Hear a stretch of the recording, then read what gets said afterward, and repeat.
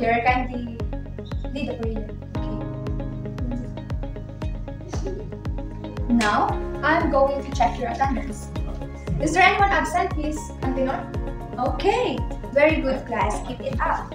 So, before that, I want activity or that worksheet. Uh, you're going to answer that. I'll give you five minutes to answer that. But before that, um, I have a question. And this question is connected to our topic later.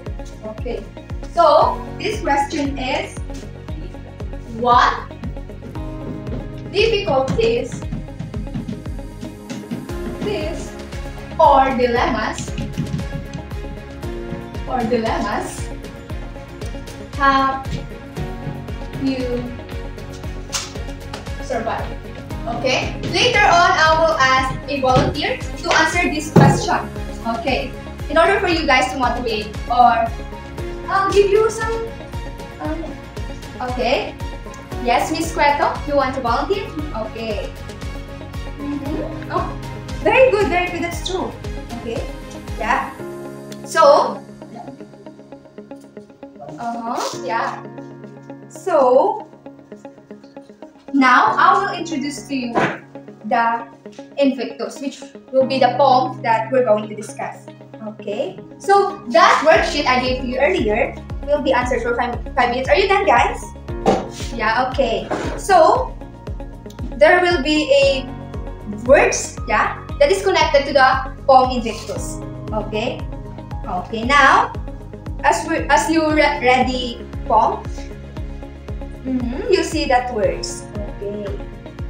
So, now, that words, we're going to, uh, did you bring your, so, as I gave you that worksheet, the, uh, we'll check it now because 5 minutes is done already. Okay, for the number one, the answer is, so the answer on that word or on that statement is uncomparable. Uncomparable. While the number two, which is to clinch or to recoil, the answer is wins. So, and for number three, mm -hmm, for number three, what is it? To hit or to coerce. Coerce. To hit or coerce, the answer is bludgeon blood. And for number four, the answer is Nines. Nines. And for the last number, which is the number five, the answer is rock. Okay. Since I told you last time that you're going to bring a dictionary, you're going to check these words, what it is and how to pronounce it. Okay, but how many of you got a perfect score in our first activity? Oh, mm -hmm. One, two, three, four, five, six. Okay, six of you got a perfect score. Okay? Oh, so those who got uh, different scores is okay. Later on, you'll be familiar with these words. Okay? So, you're just going to check the meaning in order for you guys to be familiar in your dictionary. Okay? So now, um, I want you to get your copy or uh, as I've said last meeting, uh, get a copy of the poem Invictus of William Hensley. Okay? Okay. So, as you're reading that poem, I will give you a guide question. So first, describe the character talking in this poem. In this poem. Okay, while reading silently, and later on, you read it aloud or chorus. So, what is reading, I will write here the guide questions in order to, for you guys to know uh, what this poem about. Okay. Mm -hmm. From the poem. So, describe the character talking in this poem. Uh -huh. From the Invictus. From the Invictus. Mm, okay. Next is letter B. What is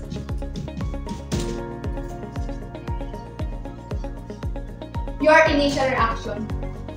Initial reaction. Initial reaction as you read or as you read the poem. Mm -hmm.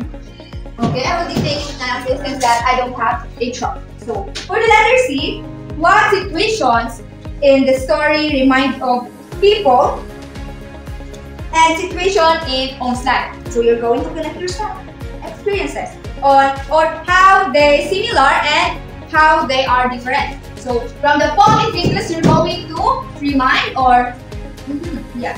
So the next is what do the speaker tries to imply in the last stanza, and what is the significance of the message to the addressee? Okay. Mm -hmm. So what are the rhyming words since that it is a poem? So what are the rhyming words used in the poem and is there a rhyme scheme used? Okay, mm you're going to check if there is and does the poem follow a metric pattern? Okay, and what is the dominant tone or mode in the poem and cite some lines. Okay, you're going to cite some lines from the poem. Okay, uh, in order for us to determine what mode or tone does the writer use. Mm, okay. And letter H, what is the central theme of the poem and how is it revealed in the poem? Mm. And enumerate the imageries that appeal to the senses used in the poem. Identify the particular lines supporting the imagery and what figures of speech in the poem. Uh, and you're going to explain how the used. Okay, explain how they are used in the poem. And the last is the last guide question. What do you think the title mean and if I could change the title, how would I change it and why? So you're going to answer if you want to change, you want to change the title of the poem. You want to change the invictus. Okay. Mm -hmm. So as you are reading, you need to answer that. Okay. Mm -hmm. After analyzing that, I will call five volunteers to answer. Okay. So we have here um, A to K questions. Okay, there's one of, it's okay, and yeah, one person per one number. Is that okay, guys? Okay, now I will introduce to you the background of the writer of the poem. So the writer of the poem Invictus is William, William Ernest Henley, Henley rather. So he is the writer of the poem Invictus or this is the author of the poem. So who is William Henley or William Ernest Henley? So William Ernest Henley, William Ernest Henley um, was born August 23, 1840 and died on July 11, 1903. So he was an influential English poet critic and editor of the late Victorian era in England. Through, the, through he wrote several books of poetry, Henley is remembered most often for his 1875 poem Invictus. So this is this was written 1895. A piece which procured in popular awareness. Example, the film Last 2029. So this we have here a movie in One. You can visit it on different sites, maybe in Netflix or in YouTube. Okay, next. During his lifetime, Henley had become fully or fairly well known as poet. His poetry had even made its way to the United States, mm -hmm. inspiring several different contributions from actors and the country to pen articles. Mm -hmm. About him, in 1889, the Chicago Daily Tribune ran an article about the promise that Henley showed in the field of poetry. So Henley was known as a man of inner resolve and character that transferred into his work, but also made an impression on his peers and friends. Now, we will proceed to the main discussion as I post it here at in our board. Okay. I will just erase writings on the board. Yeah. So our topic for today is about the literary elements. Okay. So what is literary elements? So literary elements refer to the overall and universal quality or description of any written or oral text. For example, that is the poem. Okay. And what was in the poem? So in the poem, there is a stanza stanzas are series of lines grouped together and separated by empty by an empty line from other stanzas. they are the equivalent of a paragraph in an essay and one way to identify a stanza is to count of the number of lines. So, if the stanza has one line, this is the one we call monostich. Monostich has one line. How about these two lines is the one we call couplet. Okay, and the tercet, uh, this is it is two lines. So tercet has three lines or three lines, and the quatrain, quatrain has four lines. So that stanza has four lines and the quintain is five lines and the sextet has six lines. How about the septet has seven lines and the octave has eight lines. So these are the lines of stanzas. Next is the rhyme. So in a poem, there's always a rhyme. Okay. So rhyme is the repetition of similar sound. In poetry, the most common kind of rhyme is the end rhyme. So the last part of the line, okay, of the poem. So, which occurs at the end of two or more lines. Hmm? That's familiar to you guys. Yeah. So, it is usually identified with lowercase and a new letter is used to identify each new end sound. And take a look at the rhyme scheme for the following. So, I have here example. I saw a fairy in the wood. So, the end word is wood. So in the second line, he was dressed all in green. So as you can see, it is not a rhyme. But on the third line, he drew his, his sword, which I suggest stood. So the rhyme is in the first line, which is the wood, and in the third line, there, there, are, there are the right and then stanza. So wood and stood, and on the last line, where and realized I've been seen. So green and seen. Okay, so that's the example of a rhyme. Next is the rhythm. So what is rhythm? So rhythm creates a pleasant gliding effect when we read a poem. So it helps readers to travel along the line of the poem with a certain enjoyable tempo created by the components of the rhythm. So I have here example. Never in my lonely life could you make it be my wife. So that's the rhythm. Or if I only, then she had seen that crime and anger were to have been. So those lines was in Invictus form, in the form of William Ernest Hensley. Okay. So next is the meter. So when we say meter, what comes into your mind? Mm-hmm. Yeah. That's correct. So when we say meter, it is the systematic regularity and rhythm that systematic rhythm. So systematic regularity or the systematic rhythm or it is the sound pattern which is usually identified by examining the type of feet and the number of feet. So yeah, okay. Mm -hmm. Next is the word sound.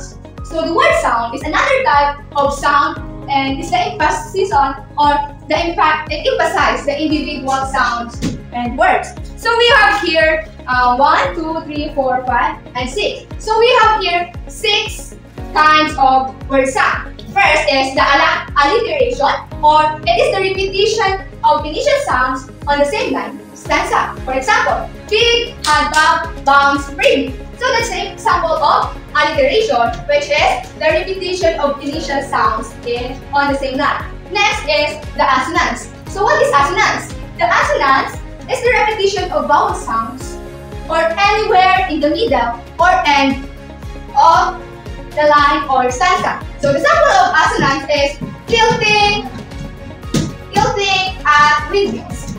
So as you can see, there are many vowels. So there are one, two, three, and four. There are four vowels. So the vowels there is the letter I.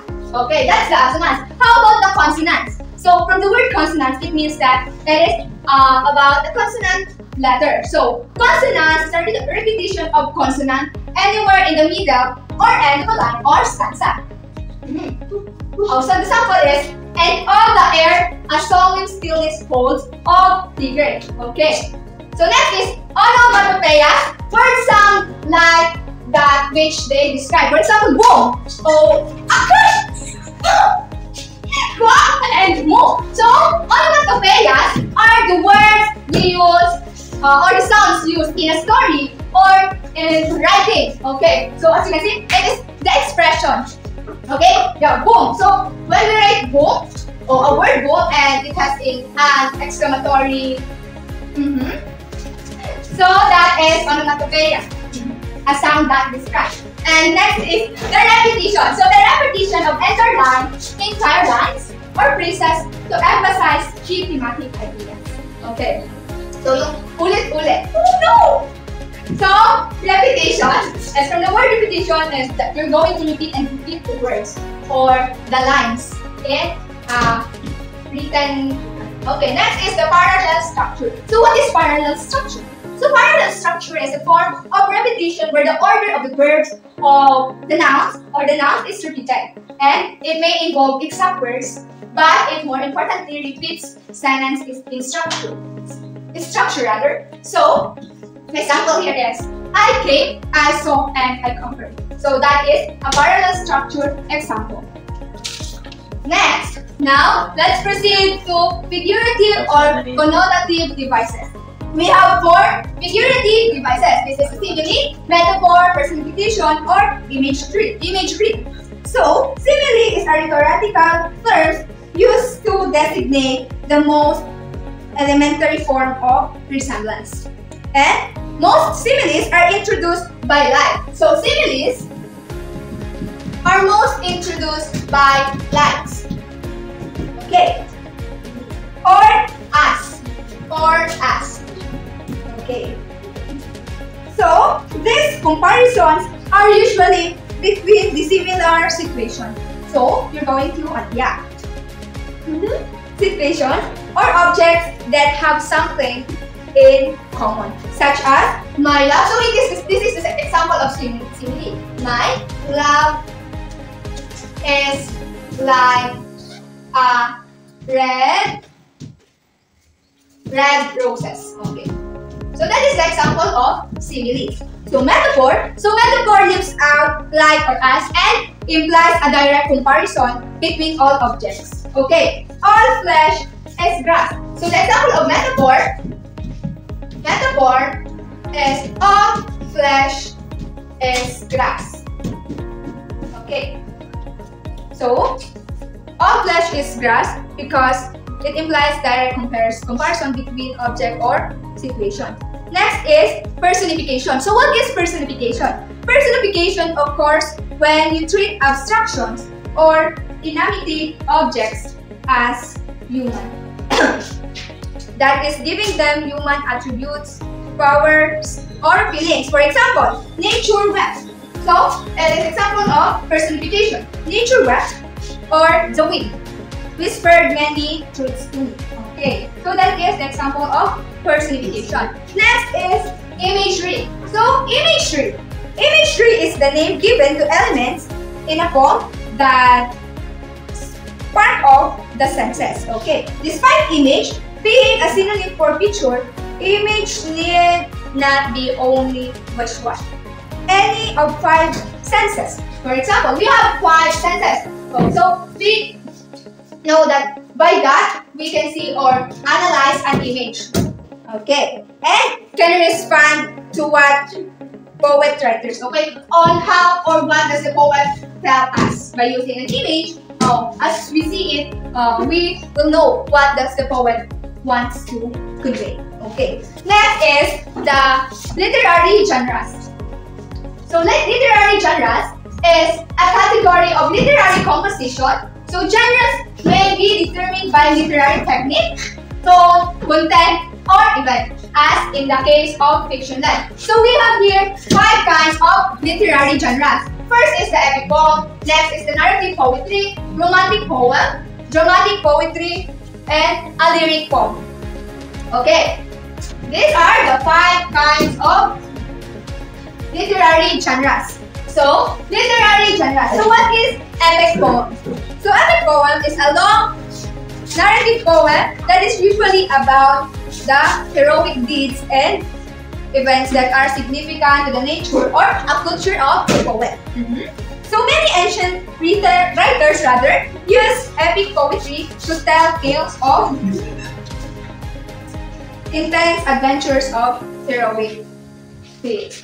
So, epic poem is from an epic or it is a heroic. And the narrative, no, so narrative poetry is a form of poetry that tells story. So, narrative poetry tells story, often making use of voices of narrator and character as well. So, it is to ensure story is usually written and in meter. So, it has, it uses meters. So, meters. So, commonly, narrative poetry is a metered verse. So, narrative poem that do not have to follow rhythmic patterns. So, it doesn't have to follow rhythmic patterns. Okay. Mm -hmm. So, how about the romantic poem? So, every one of you is excited with this, I know. So, romantic poetry is a poetry that emphasizes intuition over season and pastoral over the urban. Often achieving, uh, whoops! Ano ka? Galit mo, ako na!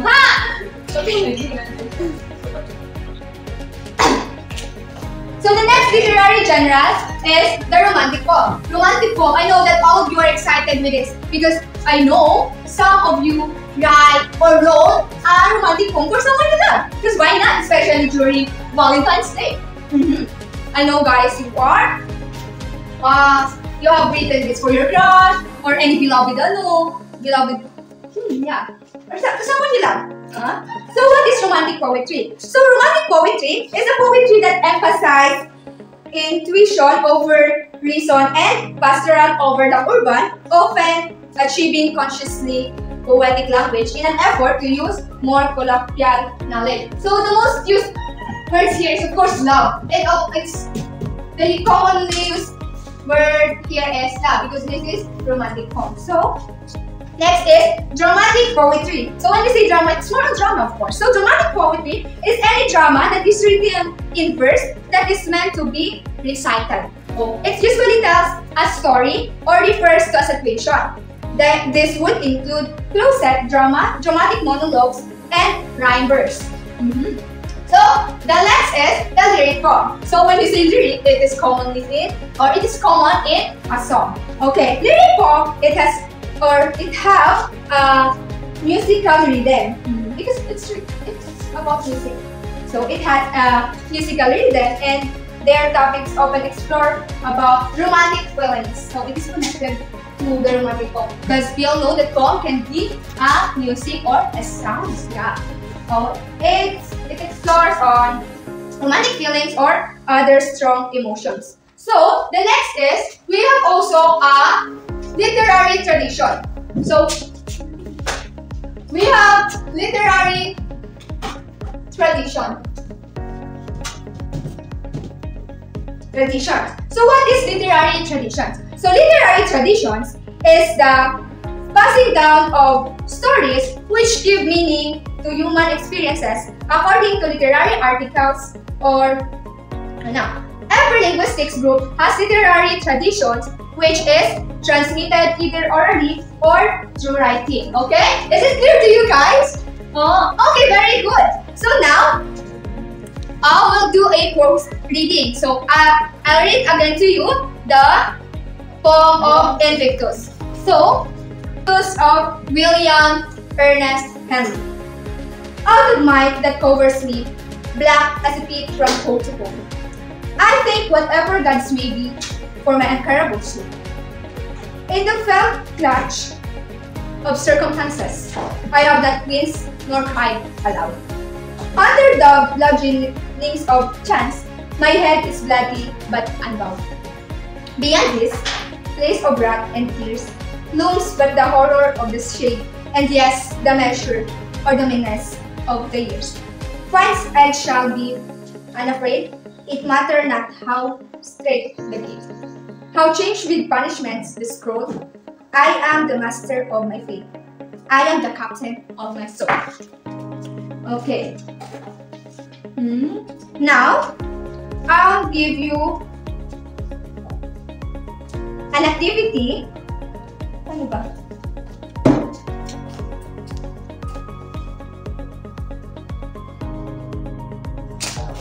Okay, do you have any question class with regards to our topic? Okay, no more. Okay, now I want you to group yourselves into how many are you guys? Uh, 45. So each group will be having a 15 members. And you're going to select your leaders. You're going to choose your leaders and if you have your leaders, you they will come here and pick here what will be there or what will be the assigned activity for you. Okay? Now, we're done. Okay? I'll give you 15 minutes to prepare. Oh no, 5 minutes only. I'll give you 5 minutes to prepare. Mm -hmm. And 5 minutes and you perform it according to rubric. I'll post here the rubric. So, do you have any questions that if not, um, uh, you're going to answer the evaluation activity and will be passed on to me later on, okay? So I'll give you 5 minutes with that. And again, what do we have about the literary element? So literary element has stanzas, rhyme, rhythm, meter, word sound, and word alliteration. Ah, Assonance, consonants, onomatopoeias, repetition, and parallel structure. While in figuratives or phonologic devices, we have simile, metaphor, imagery. And literary genres, uh, which can be determined according to literary technique, um, tone, content, or an we have five kinds or we have five genres, which is the epic poem, narrative poem, or narrative poetry, romantic poem, dramatic poetry, lyric poem, and we have our literary traditions. And okay, so once you're done, pass it in front and um, kindly get it okay and then put it on my table. Uh, once you're done answering, I will give you an assignment in order for us to determine if you have already know what we have discussed this um, this morning. Okay, so my assignment is my assignment for you guys that will be passed tomorrow uh, is this. Create your own poem. Create your own poem and you need to apply what we have discussed. Okay, apply what we've discussed. Discuss. Okay? You have your own choice on what kind or what genre you'll be doing. Okay? So, do you have any questions?